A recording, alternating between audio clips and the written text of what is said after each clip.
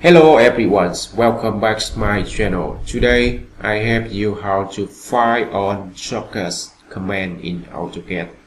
Okay, it's so easy. Here I have a two-way solution. The first way you can click here, hit Express tool and then click command alias. Okay, click here, alias. Okay, click here So AutoCAD alias editor display.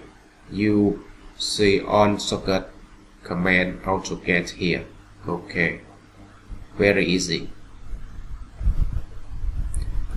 Okay, the second way you click manage and then you uh, click here edit alias.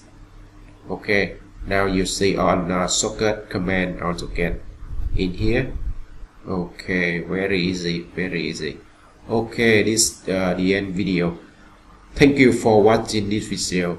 Please subscribe like. Thank you so much